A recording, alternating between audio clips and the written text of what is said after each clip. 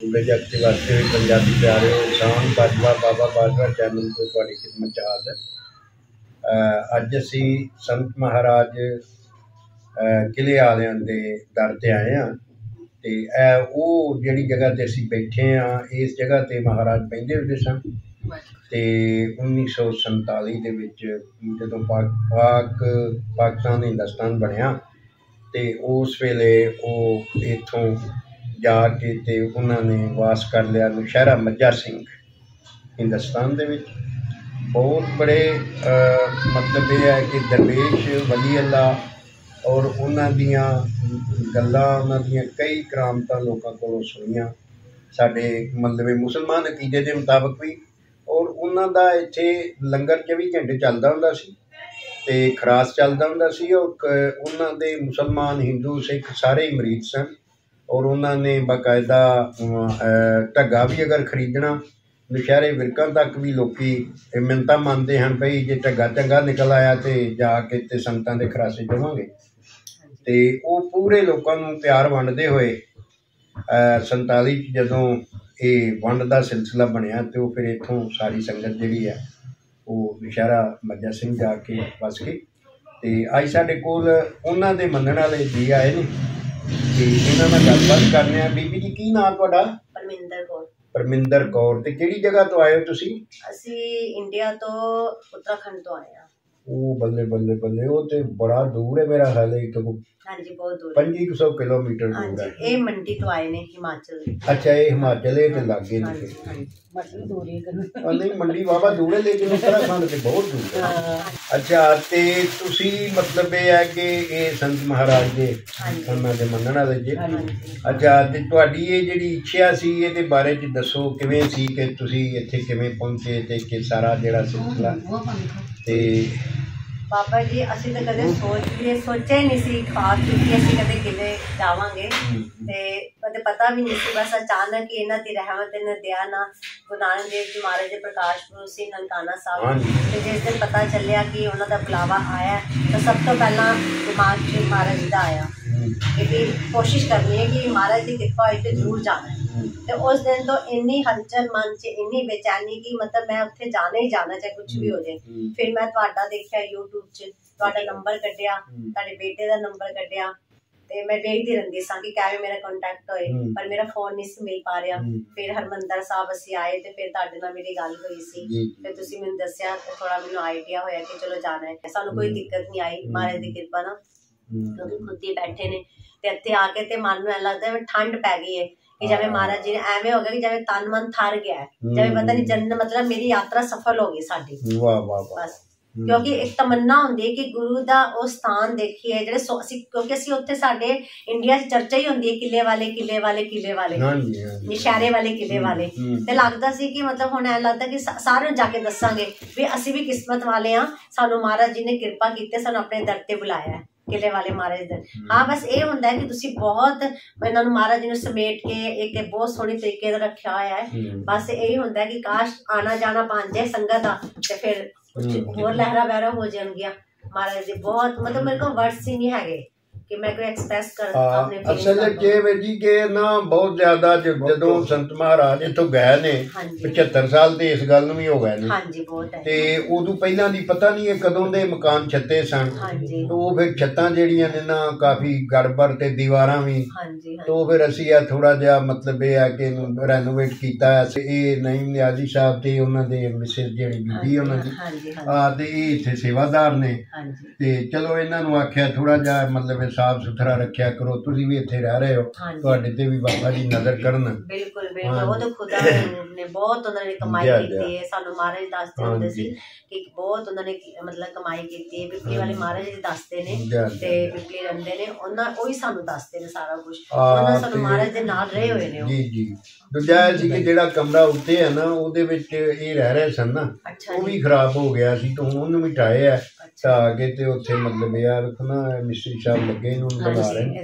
ਉਹ ਫਿਰ ਇਸ ਵਜ੍ਹਾ ਨਾਲ ਇਹਨਾਂ ਇੱਥੇ ਸਮਾਨ ਰੱਖਿਆ ਨਹੀਂ ਤੇ ਇੱਥੇ ਦੇ ਅੰਦਰ ਆਉਂਦਾ ਹੀ ਤੇ ਆਉਂਦਾ। ਮਹਾਰਾਜ ਦੀ। ਕਿੰਨੀ ਜਗ੍ਹਾ ਹੈ ਮਹਾਰਾਜ ਦੀ ਪੂਰੀ ਟੋਟਲ ਇਹ ਘਰ ਤੇ ਸੀ ਇਸ ਤਰ੍ਹਾਂ ਜੀ ਕਿ ਵਾਵਾ ਹੀ ਸੀ ਇਹ ਇੱਥੇ ਪੂਰਾ ਕਿੱਲਾ ਸੀ ਉਹਨਾਂ ਦਾ ਕਿੱਲਾ ਜ਼ਮੀਨ। ਇੱਧਰ ਨੂੰ ਸਾਰਾ ਆ ਜਿਹੜਾ ਨਾ ਜੀ ਉਹ ਜਿਹੜੇ ਸੁਨਿਆਰਿਆਂ ਦੇ ਵੀ ਘਰ ਨੇ ਇੱਥੇ। ਖਰਾਸ ਹੁੰਦਾ ਸੀ। ਅੱਛਾ ਇੱਥੇ ਜਨਾਬ ਸਾਰਾ ਸੰਤਾਂ ਦੇ ਡੇਰਾ ਤੋਂ 24 ਘੰਟੇ ਲੰਗਰ ਚੱਲਦਾ ਸੀ। ਅੱਛਾ ਇਹ ਫਿਰ ਇਹ ਹੋਇਆ ਕਿ ਜਦੋਂ 47 ਹੋਈ ਉਦੋਂ ਜਦੋਂ ਸੰਤ ਮਹਾਰਾਜ ਟੁਰ ਗਏ ਤੇ ਉਹ ਜਾੜਾ ਪੈ ਗਿਆ ਤੇ ਜਿਹਦਾ ਦਿਲ ਕੀਤਾ ਉਹਨੇ ਥਾਂ ਮੱਲ ਲਿਆ।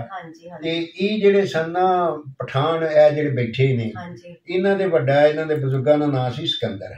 ਅੱਛਾ ਉਹ ਇੱਥੇ ਆਏ ਤੇ ਉਹ ਆ ਕੇ ਤੇ ਅੱਗੋਂ ਫਿਰ ਇਹ ਵੀ ਤਿੰਨ ਚਾਰ ਭਰਾ ਨੇ ਇਹਨਾਂ ਫਿਰ ਉਸ ਮਕਾਨ ਨੂੰ ਆਪੋ ਦੇ ਵਿੱਚ ਨਾ ਵੰਡ ਲਿਆ। ਹਾਂਜੀ। ਅੱਛਾ ਤੇ ਵੰਡ ਕੇ ਤੇ ਇਹਨਾਂ ਦੇ ਹਿੱਸੇ ਜਿਹੜੇ ਆ ਦੋ ਕਮਰੇ ਆਏ ਨੇ ਹੇਠ ਤੇ ਇਹਨਾਂ ਦਾ ਹਾਂ ਤਰਲਾ ਮਾਰਿਆ ਕਿ ਤੁਸੀਂ ਇੱਕ ਕਮਰਾ ਜਿਹੜਾ ਇਹਨਾਂ ਸਾਨੂੰ ਦੇ ਦਿਓ। ਇਸ ਵਾਸਤੇ ਬਾਬਾ ਜੀ ਦੀ ਨਿਸ਼ਾਨੀ ਤੇ ਨੇ ਅੱਛਾ। ਹਾਂਜੀ। ਤੇ ਉਹ ਇੱਥੇ ਹੀ ਬੈਠੇ ਹੁੰਦੇ ਸਨ। ਆ ਫਿਰ ਅਸੀਂ ਇੱਥੇ ਆ ਸਾਰਾ ਕਰਕੇ ਆ ਮੰਜਾ ਸਾਹਿਬ ਵੀ ਇੱਥੇ ਸਾਰਾ ਰੱਖਿਆ। ਹਾਂਜੀ। ਹਾਂਜੀ ਚਲੋ ਇੱਕ ਮੈਂ ਕਿਹਾ ਜਿਹੜਾ ਵੀ ਆਉਂਦਾ ਬਾਹਰ ਨਾਂ ਦੀ ਤਖਤੀ ਵੀ ਲਾਈ। ਸਾਰਾ ਸਿਲਸਿਲਾ। ਹਾਂਜੀ ਹਾਂਜੀ। ਤੇ ਬਾਬਾ ਜੀ ਦਾ ਜੀ ਬੜਾ ਵੱਜ ਸੀ ਬੜੀ ਉਹਨਾਂ ਦੀ ਮੰਨਤਾ ਸੀ 47 ਤੋਂ ਪਹਿਲਾਂ। ਮਹਾਰਾਜ ਜੀ ਸਭ ਕੁਝ ਜਾਣਦੇ ਨੇ ਸਭ ਕੁਝ ਔਰ ਉਦੋਂ ਇੱਥੇ ਇੰਨੀ ਮਤਲਬ ਖੁਸ਼ਹਾਲੀ ਨਹੀਂ ਸੀ ਲੋਕਾਂ ਦੀ ਹੁੰਦੀ ਭੁੱਖ ਬੜੀ ਜ਼ਿਆਦਾ ਸੀ। ਬਰਾਨਾ ਇਲਾਕਾ ਸੀ ਨਹਿਰ ਵੀ ਨਹੀਂ ਸੀ ਪਈ। ਤੇ ਉਸ ਵੇਲੇ 24 ਘੰਟੇ ਇਹਨਾਂ ਦਾ ਲੰਗਰ ਇੱਥੇ ਚੱਲਣਾ। ਤੇ ਮਤਲਬ ਇਹ ਹੈ ਕਿ ਕਦੀ ਉਹਨਾਂ ਕਿਸੇ ਤੋਂ ਤਫਰੀਕ ਨਹੀਂ ਸੀ ਕੀਤੀ ਮੁਸਲਮਾਨ ਆਏ ਹਿੰਦੂ ਆਏ ਸਿੱਖ ਆਏ ਸਾਈ ਆਏ ਜਿਹੜਾ ਮਰਜ਼ੀ ਆਏ ਰੋਟੀ ਖਾਏ। ਹਾਂਜੀ ਆ ਰੋਟੀ ਮਤਲਬ ਇਹ ਤੇ ਇੱਥੇ ਵੀ ਹੁਣ ਨਾ ਇਹਨਾਂ ਦੀ ਡਿਊਟੀ ਲਾਈ ਅਸਾਂ ਇਹ ਵੀ ਜੁਮੇਰਾਤ ਨੂੰ ਨਾ ਉਹ ਲੰਗਰ ਜਿਹੜਾ ਨਾ ਉਹਦਾ ਥੋੜਾ ਜਿਹਾ ਕਰਦੇ ਨੇ ਸਿਲਸਿਲਾ। ਅਜਤਾ ਅਜਤਾ ਜਿਵੇਂ ਬਾਬਾ ਜੀ ਦਾ ਉਹਨਾਂ ਨੂੰ ਮਨਜ਼ੂਰ ਹੈ ਤੇ ਹਾਂ, ਨਹੀਂ ਬਿਲਕੁਲ ਬਿਲਕੁਲ ਉਹ ਉਹਨਾਂ ਹੁੰਦਾ। ਬੱਚੇ ਹਾਂਜੀ। ਧੀਰੇ ਧੀਰੇ ਸਭ ਕੁਝ ਅੱਛਾ ਹੀ ਹੁੰਦਾ ਹੈ। ਤੁਸੀਂ ਦੱਸੋ ਤੁਸੀਂ ਕਿੱਥੋਂ ਆਏ ਹੋ? ਤੁਹਾਡਾ ਨਾਮ ਕੀ ਹੈ? ਮੇਰਾ ਨਾਮ ਸੁੰਦਰਪਾਲ ਸਿੰਘ ਭਟਜਾ ਅੱਛਾ ਤੁਸੀਂ ਵੀ ਨੀਲਧਾਰੀ ਹੋ? ਅਸਲ ਦਿਲ ਧੜੀ ਸਮਝੋ ਇਹ ਸਾਡੇ ਅਸੀਂ ਇਹਨਾਂ ਦੇ ਇਹਨਾਂ ਦੇ ਕਿੰਨਾ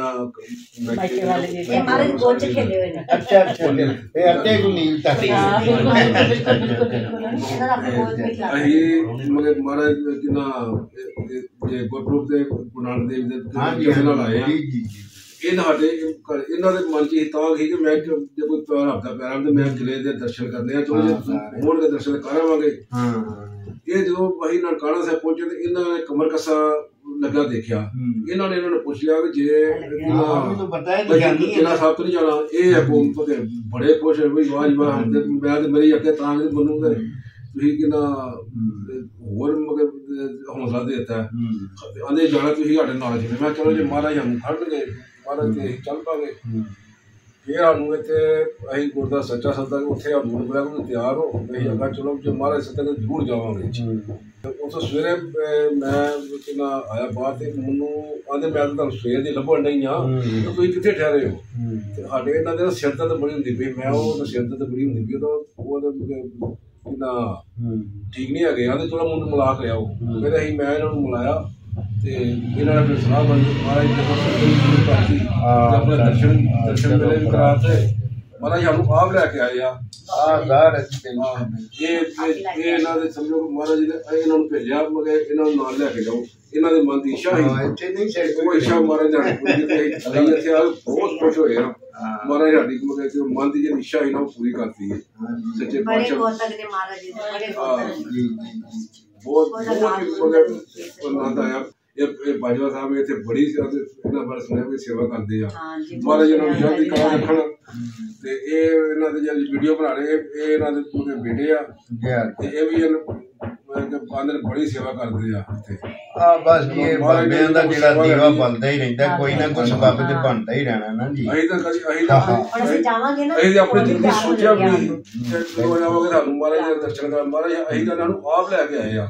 ਇਹ ਇਹ ਜਰੀਆ ਬਣਾਇਆ ਮਗਰ ਇਹਨਾਂ ਥਰੂ ਅਸੀਂ ਆਏ ਆ। ਆਪਣੇ ਪਰਿਵਾਰ ਚ ਪਹਿਲੇ ਹੀ ਆ ਜਿਹੜੇ ਦਰਸ਼ਨ ਕਰਕੇ ਚੱਲੇ ਆ। ਹਾਂਜੀ ਹਾਂਜੀ। ਬਿਲਕੁਲ।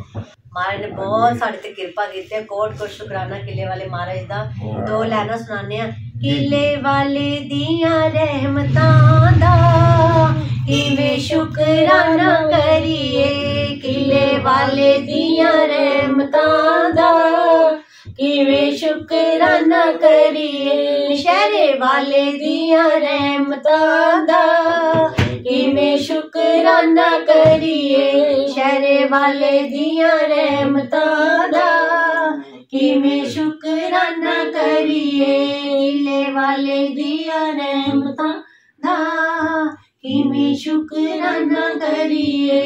ਵਾਹਿਗੁਰੂ ਜੀ ਦਾ ਖਾਲਸਾ ਵਾਹਿਗੁਰੂ ਜੀ ਕੀ ਇੱਥੇ ਫਤਿਹ ਪਾਕਿਸਤਾਨ ਆਉਣ ਤੇ ਸਾਡੇ ਇੱਥੋਂ ਦੇ ਮਗੇ ਕਿਨਾ ਵੀਰਾਂ ਨੇ ਬਹੁਤ ਹੀ ਸਵਾਗਤ ਕੀਤਾ ਹੈ ਮੈਂ ਇੱਥੇ ਪੂਰੇ ਪਾਕਿਸਤਾਨ ਦੇ ਲੋਕਾਂ ਦਾ ਕੀਤੀ। ਬੜਾ ਤਾਂ ਬਹੁਤ ਪਿਆਰ ਦਿੱਤਾ ਸਾਨੂੰ ਹੂੰ ਜਿੰਨੇ ਸਾਰੇ- ਸਰਕਾਰ ਜਿਹੜੀ ਆ, ਬੜਾ ਠੀਕ ਕੰਮ ਕਰ ਰਹੀ। ਸਰਕਾਰ ਨੇ ਬਹੁਤ ਮਗਰ। ਜਦੋਂ ਗੱਡੀ ਨਨਕਾਣਾ ਸਾਹਿਬ ਪਹੁੰਚੀ ਸਾਰਿਆਂ ਦੇ ਫੁੱਲਾਂ ਦੀ ਵਰਖਾ ਕੀਤੀ ਲੋਕਾਂ ਦੇ। ਗਲਾਂ ਪਾ ਕੇ ਮਗਰ ਇੰਦਾ ਸਵਾਗਤ ਕੀਤਾ। ਵੱਡੇ ਵੱਡੇ ਪੁਲਿਸ ਅਫਸਰ ਉਹ ਯਾਰ ਸਾਡਾ ਮਗਰ ਪਾਲੇ ਫੋਟੋ ਕਰਾਣੀ ਕੋਈ। ਕੋਈ ਉਹਨਾਂ ਦੇ ਮਗਰ ਕੋਈ ਨਹੀਂ। ਮੈਂ ਰਾਣਾ ਅਹ, ਸਾਫਿਰ ਅਹ, ਸ- ਅਹ, ਕਿੰਨਾ ਗਿਆ ਉਹਨਾਂ ਉਹਨਾਂ ਦਾ ਬੜਾ ਧੰਨਵਾਦ ਕਰਨਾ ਉਹਨਾਂ ਨੇ ਮੈਨੂੰ ਸਾਨੂੰ ਕਿੰਨਾ ਖੁਦ ਉੱਥੇ ਸਪੀਚ ਦਿੱਤੀ ਸੱਚਾ ਸੁਣਦਾ ਔਰ ਇੰਨੀ ਵਧੀਆ ਉਹਨਾਂ ਬੋਲਿਆ ਮਹਾਰਾਜ ਦੇ ਪਾਸ਼ਾ ਮਿਹਰ ਕਰੇ ਸਭ ਤੇ।